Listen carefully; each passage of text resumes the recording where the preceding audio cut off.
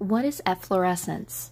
Efflorescence is the name for the white colored powder that appears on the sides of buildings and homes, meaning to flower out in French. This crystallized deposit flowers or spreads across masonry materials that have a high amount of water exposure. Whether by increased precipitation, humidity in the air, or a stray sprinkler, water makes contact with the existing salts present in the masonry and causes them to dissolve in the water. Once this water evaporates, it leaves behind salt deposits on the surface in the form of a white, gray, or yellow dusting known as efflorescence. This formation commonly occurs on masonry surfaces such as brick, sand, stone, cement, clay, and lime. Is it a problem? Efflorescence doesn't pose much of a threat to homeowners, but it does indicate that there could be too much moisture exposure. If it grows abundantly or frequently, even after cleaning, it may imply a structural problem with the house or building. Increased moisture intrusion can be harmful to certain materials present in homes and buildings, especially for an extended amount of time. If you're worried about any leaks or water damage, contact a professional. Can I prevent it? Yes and no.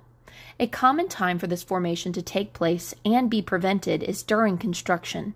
When left outside at night and uncovered, masonry units have an increased chance of water exposure.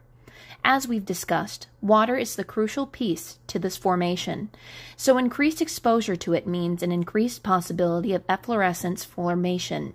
However, buildings located in humid climates or receive lots of precipitation may find it more difficult in preventing this formation. Here are a few ways to decrease the chances of this nettlesome powder from taking over. Cover masonry units on all sides when not in use. Store in a dry environment. Check sprinklers to see if any streams make regular contact with your building or home. Consider installing consolidated grout to discourage water exposure. And apply a sealant. How do I get rid of it? Using a nylon scrub brush to lightly brush away the debris may work for smaller surface areas, but the best way to clean efflorescence is with a pressure washer and a professional grade cleaning solution. How you can clean depends upon the type of surface. Looking for a professional masonry cleaning solution? Tidal Washers offers industrial grade masonry cleaning products to remove dirt and debris such as efflorescence. Want to learn more? Visit our website today or contact us for more information. We look forward to hearing from you soon.